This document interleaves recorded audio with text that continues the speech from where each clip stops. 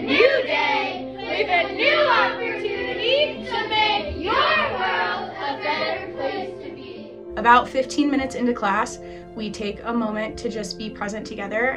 Here we go, breathe in. Breathe out for five, try to share with them Three. something useful or some type of information that I wish I would have known. That's right, and if you brought any stressors, depressors, or anxieties in with you today, I want you to let them know that you'll be with them later and just throw them out the door or throw them out the window. Because all you gotta worry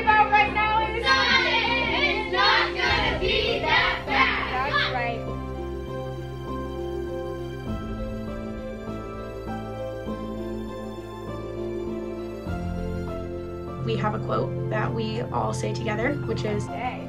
It's a new day with a new opportunity to make your world a better place to be. One of my biggest things that I try to remind myself of is that I'm teaching future humans, I'm not teaching test takers. If I knew one thing when I was younger, here's what I wish I would have known. Emotions are a lot like the weather.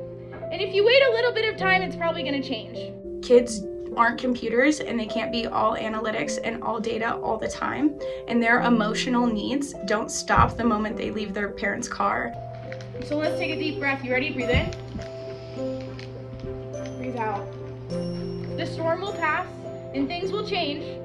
So it's up to you to give time some time. They continue to have those needs and learning experiences throughout the school day. And so it's not only important that they learn science in my class, but also it's important that they learn how to regulate themselves and how to be a good human. If you were mean to someone yesterday or made bad decisions the day before that, I forgive you because Today, today is a new day with a new opportunity